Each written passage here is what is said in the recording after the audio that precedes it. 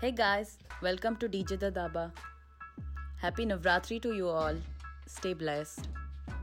Today's recipe is Navratri special Gasagase Payasa, also called as Khaskas Kheer.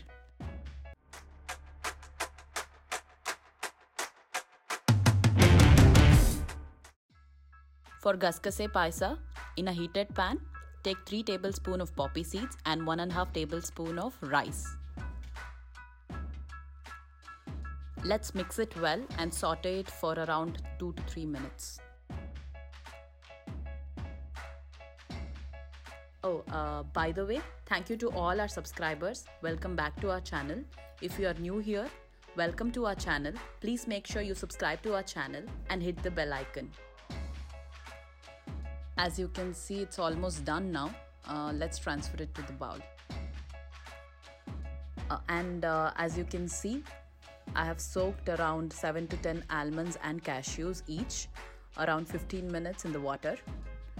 Uh, now add 1 4th cup of coconut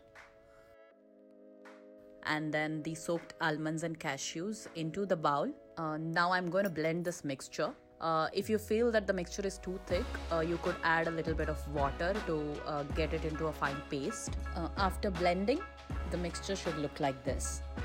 Uh, let's keep it aside. Now we need to fry the dry fruits. So for that, in a heated pan, add around half tablespoon ghee and around 1 4th cup of dry fruits. Here I have used cashews, pistachios, and almonds, which are chopped. Uh, so you could use any uh, dry fruits of your choice. Now I'm gonna fry them for one minute. Now after one minute, let's add raisins, one tablespoon, and fry them max for around 30 seconds. Uh, now keep it aside. Uh, now in a saucepan, take half cup of crushed jaggery and half cup water. Mix well. Uh, this is for the jaggery syrup.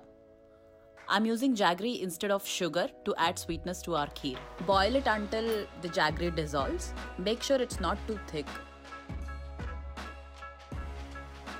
Uh, now as you can see the jaggery syrup is ready. Let's take another saucepan on the stove and strain the jaggery syrup into that. Uh, now wait until it starts to boil. Uh, now it started boiling. Let's add the fine paste we made earlier and mix it well. Uh, keep mixing it well to avoid the lumps. Uh, we do not want uh, lumps in the kheer at the end. Uh, so keep mixing it well uh, in order to get a smooth texture.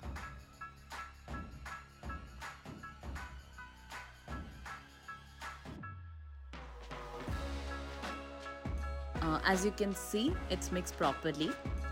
Now add one and a half cup milk and 1 4th teaspoon cardamom powder and mix well again.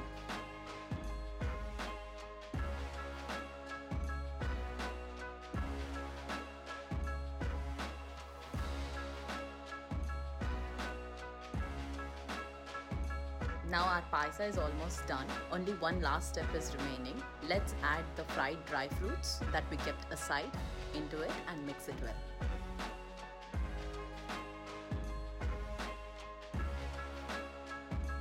And the gasagase payasa or khaskas kheer is ready to serve. Serve hot and enjoy. Happy Navratri. If you liked our recipe, please like, share, comment. If you haven't subscribed to our channel, please do subscribe and hit the bell icon. Thank you.